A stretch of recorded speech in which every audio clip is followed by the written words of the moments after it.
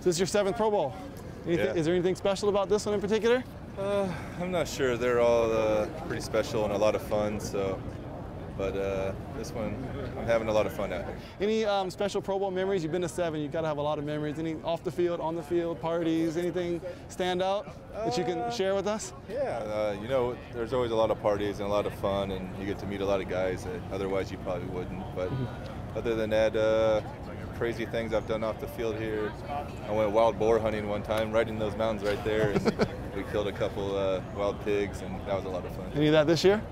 Uh, not this year, just uh, hanging out by the pool mostly. Gotcha. Getting the big question out of the way. Have you made a decision as far as 2016 yet? If you're coming Uh, back? not yet. I'm trying to just take my time and make the right decision, and uh, things like that usually don't want to rush into. So. Have you talked to the Bucs as far as when you're going to give them a timetable before free agency, before the draft? Have you? Right. I, I want to give them as uh, the earliest notice that I can to not put them in a tough situation. So. Uh, Eventually, they'll be the first ones to know, other than my uh, wife and kids. So, Got it.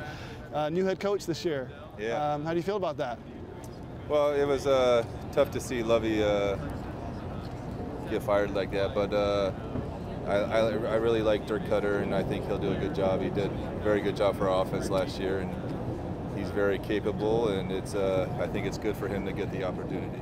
Do you think there's is there anything specific you can point to that tells you that he will be a good head coach since he's never done it at the NFL level before? Right, uh, you know, it's hard to tell until that person's in that situation, but I know the way that he uh, took command of our offensive room and uh, demanded people do things the right way. So that's what you need from your head coach. He, he's got to be very demanding of his players. Uh, going back one more time to Lovie, um, I'm assuming the firing surprised you. You think you think he got a raw deal, or what is your opinion on that? I don't know. It's uh, it's a tough business, and it always comes down to winning or losing. And it was, uh, I'll, I'll say I was surprised that he got fired, but uh, hey, uh, the owners they get to choose who they want to do their job, so uh, it's up to them. There you go. Uh, Jameis being here, um, his first Pro Bowl. Is there things he can learn from other players? Do players actually give out free advice, or is that overrated or overstated? Yeah, well, not all players do, but certain ones do, and uh, I think Jameis is on the right track, and he's uh, he's learning very fastly, and he does a great job, and he's only going to continue to get better.